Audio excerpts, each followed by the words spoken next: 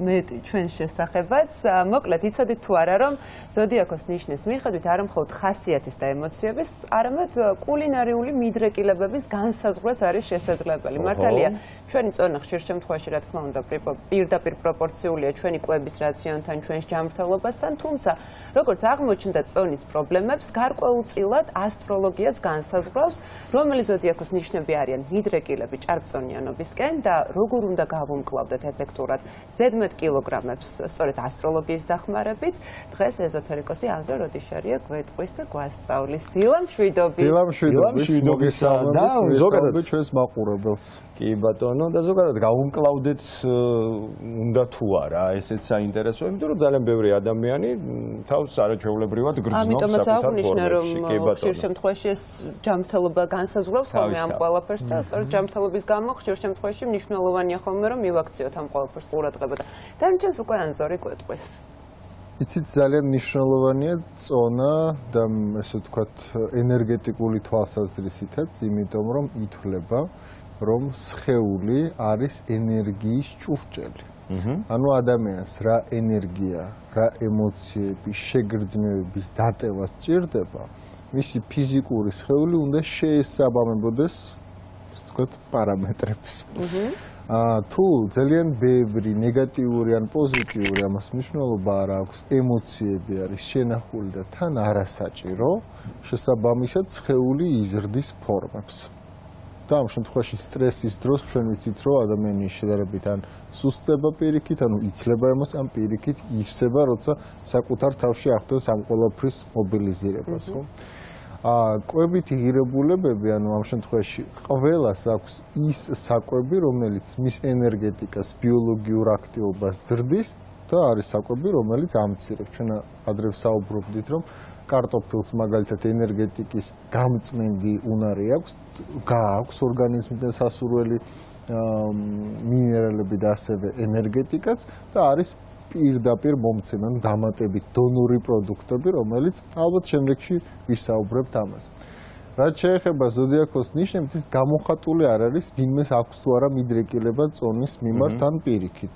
ანუ ისე ვთქვათ, სისუსტისკენ ხო პირიქით ეს არის უკვე ადამიანის ინდივიდზე დამოკიდებული თუ როგორ უნდა რომ ის წარდგეს საზოგადოებაში.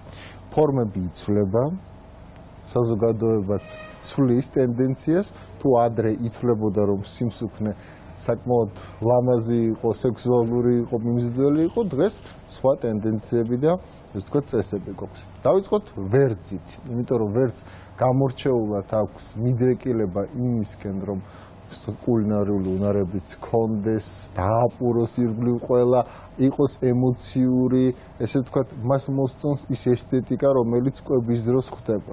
რა თქმა უნდა, მას შეუძლია მიირთვას ძალიან სწრაფად და ეს არის ის, რაც აუცილებლად თუ ვერძებს ეს რამე ემართება თუნდა შეაჩენ სწრაფი კვება მათთვის უნდა იყოს მინიმალურამდე დასული უნდა მიიღონ საკვებიდან ეს თქვა გემო უნდა დაიწყოს დამუშავება პირის ღრუში რომ არ მოხდეს მათი წონის კვეთრი ცვალებადობა. ასევე მათ აქვთ ესეთი მიდრეკილება, რომ შეუძლიათ უცებ შეჭამო ძალიან ბევრი და დაისვენონ მერე მაგალითად თელი ერთი დღე. ესეც მათი პრობლემაა, რომელიც მათ წონაზე ცუდად მოქმედებს. ამიტომ ვერძებო, აკონტროლეთ თქვენი კვების ხარისხი. იმით რომ შეამცი გადაანაწილოთ დროის მასშტაბზე ის რაც ნუ ერთი ულუფა შეიძლება მიიღოთ უცებ ხო რაც შეეხება კუროს, ნუ ეს ჩვენი ლიდერი არის კულინარიის კუთხითაც, კვების კუთხითაც და საკმაოდ ისეთი ნიშანია, რომელსაც თვითონაც უყარს მირთმევა და უყარს თორსა სხვებს უმზადებს, ხო? მათთვის ძალიან მნიშვნელოვანია ის, რომ მოერიდოს მაქსიმალურად დიდი მარაგების შექმნას ოჯახში. მოერიდოს ამ შემთხვევაში. რაღაცების ძალიან დიდი რაოდენობით მომზადებას არ მომზადებს დიდი ესე ვთქვათ. და რატომ? იმიტომ რომ რადგანაც ეს ნიშანი არის დამაგროვებელი გამაფრთხილებელი და სტაბილური მისთვის ის რაც არის უნდა იყოს მირთმეული. ის რაც არის უნდა იყოს ათვისებული. შესაბამისად როცა ხედავს უჩდება სურვილი რომ ეს ყველაფერი ა თავად მიერთოს თუ სხვებსაც გაუნაწილოს. სხვებსაც თავადაც, ამიტომაც მათი წონის პრობლემები ხშირად არის იქიდან გამოწვეული, არასწორად ხდება არასაჭირო პროდუქტების შეძენა. ну ეს მათი დამახასიათებელი თვისება. გადავიდეთ, მოდი ჯერ ცეცხლის ნიშნებს, ახლა კურსს გადავედი, მაგრამ ნუ ცეცხლის ნიშნებს მიყვეთ. ლომი არის ლიდერი ესე თქვა წონის მატების და პირიქით ესე თქვა სწრაფი კლების მიმართ, იმიტომ რომ მათი ხასიათის, მათი შეგრძნებებიდან გამომდინარე ზუსტად ანალოგიურად მოქმედებს მისი წონა, მისი კვებითი რაციონი და შეიძლება ვნახოთ მუშიმშილე ლომი ერთი თვე, შემდეგ ესე ვთქვათ ბედნიერი ლომი, რომელიც ბევრი ლომი მეგობარი მყავს და მუდმივ რეჟიმში არიან ამ წონის კლება, მომატება, კლება, მომატებასთან. თუ ესე ვიტყვით, რა უნდა გაითვალისწინოს ყველაზე მეტად ანზო? ლომებისთვის, ლომებმა იციან ემოციური ყვება ემოციური ჭამა შესაბამისად მათ უნდა გაითვალისწინონ ის რომ საკვები მათ ჯანმრთელობისთვის მათი ფიზიკური სხეულისთვის არის საჭირო და ეს იგივე საკვები ემოციურად არ გადაიტანონ რომ დაიკმაყოფილონ რაღაც შინაგანი ემოციები, ფიქრები, განცდები და ასე შემდეგ. აი ძალიან მნიშვნელოვანია. ლომებს სხვათა შორის არის ერთი მინერალი, რომელიც რომელსაც ქვია ციოზიტი, რომელიც ეხმარება წონის კლებაში. ციოზიტი? ციოზიტი, კი. იმიტომ რომ აბალანსებს მათში ენერგეტიკას. რამდენი ლომი გაიქვალისწინა? არის საკმაოდ წარმატებული. ციოზიტი, მე შედეგები მოვიკითხოთ. რაც შეეხება ჩვენს ბედნიერ მშვილდოსნებს, მათ ამ შემთხვევაში არ აქვთ ესეთი მიდრეკილება კვების მიმართ, ანუ განსაკუთრებული სწრაფვა, თუმცა მათთვის რთული არის უკვე მიღებული წონის კლება. და ამ შემთხვევაში თუ ისინი ფორმაში არიან ამ ამ სტრუქტურიდან გამოსვლა უფრო მდგრადი არის ასე ვთქვათ ჩვენი მშულდოსნები ამ მიმართულებით და მათთვის ძალიან მნიშვნელოვანია არა გემრიელად ჭამა, არა მსუყეთ ჭამა, არამედ უბრალოდ სწორად მირთმევა რაღაცის ფერადის, რომელიც მათ ხასიათზე იმოქმედებს, ამიტომაც დღის სუნაგები არიან. ხო, დღის რაციონში სხვადასხვა ფერის საკვები იქნება, უფრო სასარგებლოა მის თმა ვერძი თუ ხორცისკენ არის მიდრეკილი, ეს სურვილი აქვს, ხო? მაქსიმალურად მის ენერგეტიკა კარგად პულსირებს ხორცის მირთმევის შემდეგ, ამ შულდოსნისთვის უფრო ბოსტნეული იქნება სასარგებლო. კი ბატონო, გადავიდეთ ახლა შემდეგ ნიშნებს ეს არის მიწა ყურო ვთქვით უკვე ქალწულისთვის არის ძალიან მნიშვნელოვანი პროცესი, იმიტომ რომ მისი ჯანმრთელობა, მისი იმუნური სისტემა, მისი გადამუშავებელი სისტემა ძალიან გრძნობი არის პროდუქტების მიმართ. შესაბამისად, ყოველთვის უნდა განსაზღვროს, რას მიირთმევს, როგორ მიირთმევს, იგრძალება მათთვის, ესე ვთქვათ, სტრაფიკების მეთოდები, რომელიც მათ ხელს არ უფრთხილდება და პირიქით გადაძაბავს, ეს არა მარტო წონაზე, ნერვულ სისტემაზე, ძილის, ასე ვთქვათ, ძილის მოწესრიგებაზე და ამ შემთხვევაში ზოგად ფონზე სამსახურეობრივ კუთხითაც მოქმედებს. ქალწულებისთვის მიღება კვებითი ამ შემთხვევაში მოქმედებს თითქმის ყველაფერზე, ამიტომაც სწორი კვება, სწორი რაციონი მათთვის არა მარტო წონისთვის, არამედ ცხოვრებისთვის საჭიროა. სიცოცხლე მნიშვნელოვანია. რასაც ვერ ვიტყვით თხის რქაზე, იმიტომ რომ მათ ხშირად ავიწყდებათ ხოლმე უნდა ეჭამათ თუ არ უნდა ეჭამათ მიერთვათ თუ არა, რამე საერთოდ რა არის მათ რაციონში თქვა მნიშვნელოვანი. თხის რქები იშვიათად იცვლიან ხოლმე ფორმებს, უფრო სტაბილურად ასაკთან ერთად მათი ფორმები იხვეწება და იზრდება, მაგრამ იცით როგორ იშვიათია, როცა თხის რქა იტყვის რაღაცას, რომ მე ამას არ ვიზავ და მე რეიზავს.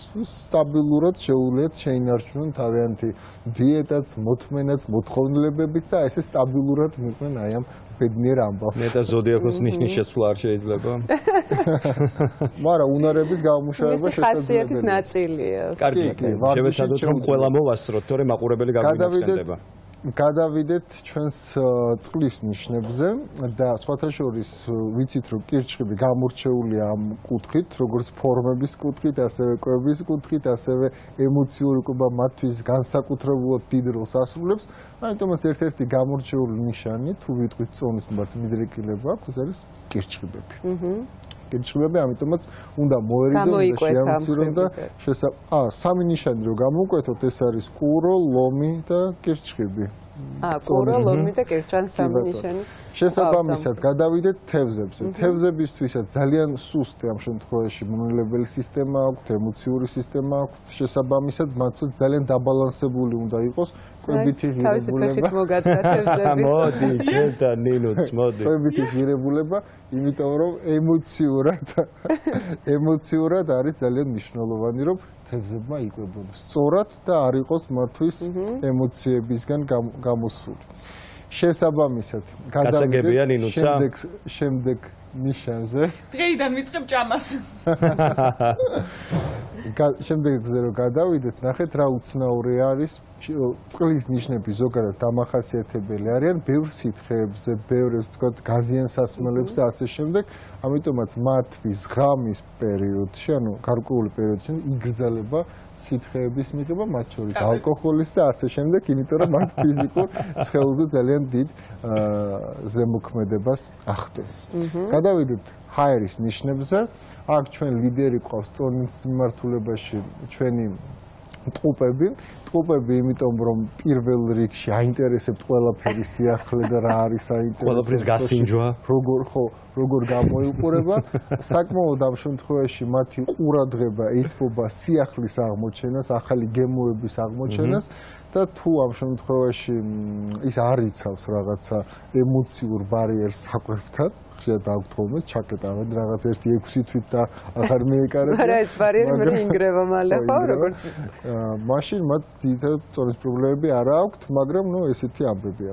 რაც შეეხება სასწორებს, ეს არიან ნიშნები, რომელიც ყველაზე სწორად შეუძლიათ იკვებონ, მიაქციონ თავიანთ ფიზიკურ მდგომარეობას ყურადღება, გათვალონ, აი სად არის ცოტათი მეტი, სად არის ცოტათი აი მე კი გეთანხმები. დაბალანსებული ყვების რაციონი ქონდა. კი ბატონო და მერწყულები ამ კუთხით ლიდერები არიან, იმიტომ რომ მათ შეუძლიათ გონებრივად იკვებონ.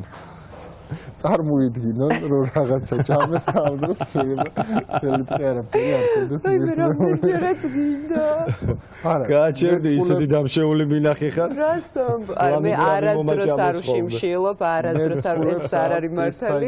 პროცესი უფრო სწორად ვიყვებო ისინი საკუთარ თავზე ჯანმრთელობაზე ზრუნავენ პრიორიტეტია მათი მომავალი და არა ის რას მიირთმევენ ახლა ამიტომაც საკმაოდ მორიელი გამოგრჩა ანზო მორიელი წყლის ნიშნებში გავიყვანოთ ზუსტად იქ არის ჩვენი ბედნიერება, რომ მორიელები არის ასევე ემოციური ჭამელები და მათ უყვართ განსაკუთრებით, როცა მიირთმევენ ისეთ რაღაცებს, რაც მწარეა, ესე ვთქვათ, ლაშეა, და ასე შემდეგ, ამიტომაც აი ეს უნდა ამას უნდა მოვაკლოთ.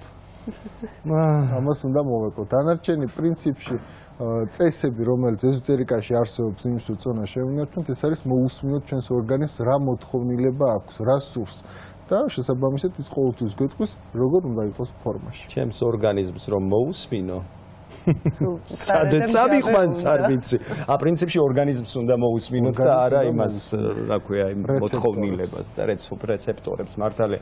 უღრმესი მადლობა ანზო. მადლობა თქვენ მოწვევისთვის.